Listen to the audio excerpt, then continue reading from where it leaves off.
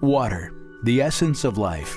It accounts for more than 70% of your body's total makeup and must be properly maintained in order for you to stay hydrated.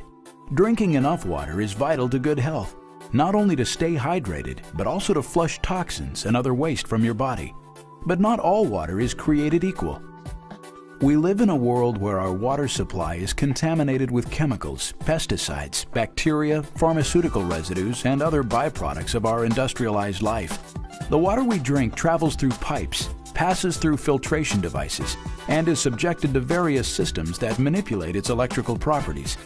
Then, to counteract the effects of any remaining contaminants, chlorine is added to our tap water. Chlorine may kill some or most of the traces of harmful elements in our water, but consuming it in such large quantities over time may be as bad for us as the contaminants themselves. So, in reality, the water we depend on to hydrate and rid our bodies of waste may be only adding to the toxins that already exist.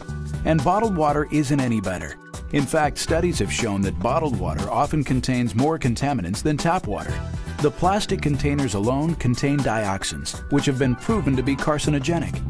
Water has a neutral pH by nature. The municipal treatment process and environmental pressures only increase its acidity, which is then passed on to our bodies when we drink it. Figure into the equation the fact that most Americans consume almost twice as much soda as water and subsist on a diet that is best described as substandard, which can increase already high acid levels. This results in a condition known as acidosis, which may lead to severe dehydration.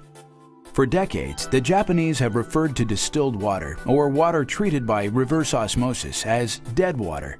Dead water has been depleted of its minerals and can be highly acidic. When water is acidic, it has very little potential to reduce oxidation in the body. This encourages the growth of free radicals, which damages cells, organs, and DNA through oxidation. Free radicals are known to be a root cause of many significant health challenges, as well as the aging process itself.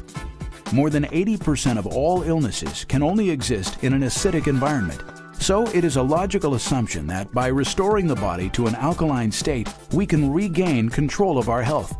And the most effective way to achieve the transformation to alkalinity is by drinking water that has been restructured, turning acidic dead water into alkaline living water.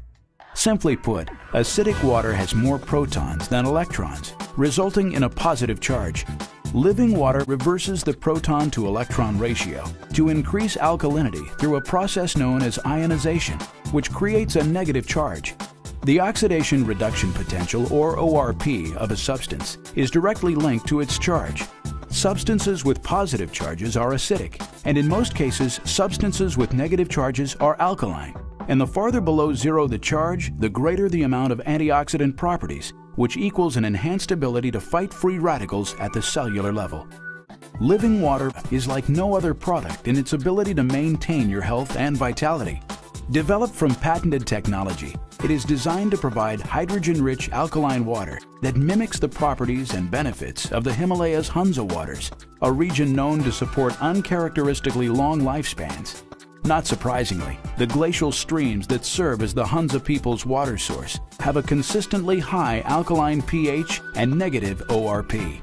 Living water has the potential to transform every drop of water you consume into the fountain of youth. Health benefits may include improved overall well-being, renewed energy levels, mental clarity, and a more optimistic outlook. Even better, living water's benefits extend to most every aspect of our daily lives, enhancing everything from the foods we prepare, our household cleaning, personal care, and beyond.